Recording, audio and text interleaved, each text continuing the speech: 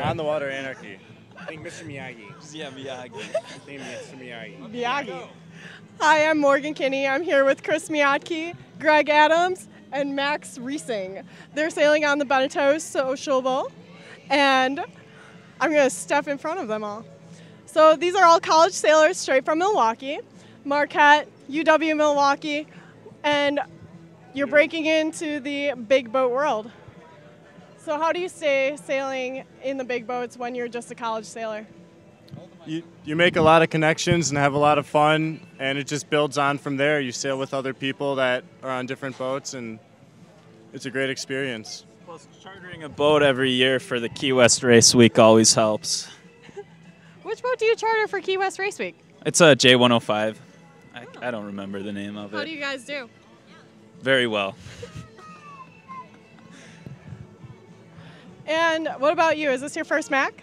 This is my second Mac. I really enjoy um, doing it. I like the teamwork, and um, you know, Milwaukee is a great sailing community. Milwaukee Community Sailing Center, South Shore Yacht Club, Milwaukee Yacht Club, and you know, we just bring the college students in and get them on crews for summer. And you know, we have a lot of college sailors from Milwaukee doing the Mac this year. Oh, so it's your boat. No, it's not, but Well, who are you speaking for then? Well, just Milwaukee in general. You know, Sociable and Mosquito and Edge. We have a lot of college sailors out here this year. Merlin, Bacant. And y'all do the beer can races every Wednesday night? Yeah, every Wednesday. It's a lot of fun. It's a pretty social atmosphere.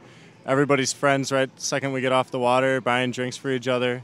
It's just a great situation we have in Milwaukee. A perfect situation for a college sailor, anyways. Oh, absolutely. Have you guys been to the island before? Obviously, you have. It's, you have. It's pretty stinky. It's a great place. It's lie and say it's it's a lot of fun to get there. It's a goal, and when you're five miles out with no wind, it's just such an attainable goal, and it takes a while. But We definitely have a tradition now started where we uh, usually rent bikes on the island, tandems usually, and ride around on the island. I think it's fun, you know, when you get in and go with your crew and, you know, ride around the bike, tandem bikes, and kind of fun and kind of goof off. You know, it's good, lighthearted atmosphere afterwards. You know, everyone's happy, everyone made it there, and safe and sound. Are you guys doing the delivery back? We are not. We are actually taking an RV back on our boat. yeah, we have about 20 people coming back in the RV on Tuesday night. Back to class. We have to get back to class on Tuesday, so we're leaving right away. But you know, we always stop at the Pink Pony to get a drink. Well, I, I actually have a question since you guys are young, and since this this race, you know, with the tracking and the live stuff and, and so on, it's become kind of accessible while you're out on the water, at least a portion of the time. How much of your you know uh, of your tactics and routing is going to depend on what you can get on the internet and who you can see on the tracker? We never check until we're we never check until we're past the Manitous. Then we look we look at the live stream and see how we're doing compared to all the other boats. We generally don't spend too much time watching it, but we'll definitely check upon it when we're near shore and everything. But overall, we just try to sail our own race and not get distracted by what the competition's doing. Do you think that, that the that the connectivity that some boats have kind of I don't know. I mean, uh, people talk about that it kind of makes the race different. It makes it so it's less of sort of a your out there experience. You're more connected. Is that a positive or negative? What do you think?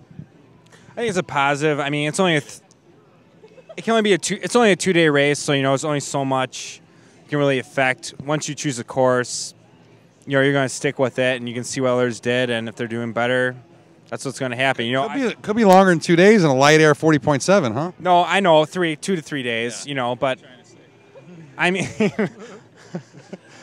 but I mean, it's a one. Des- we're in one design class, so it's great. You know, I mean, but I mean that's what I'm saying. If we make a decision and follow it, you know, by the time we know someone's doing better than us, it's not really going to affect what we can do at that point. As, as college sailors sailing one design, and I think you have what nine nine 40.7s or something like that. Twelve, Tw- twelve. holy crap!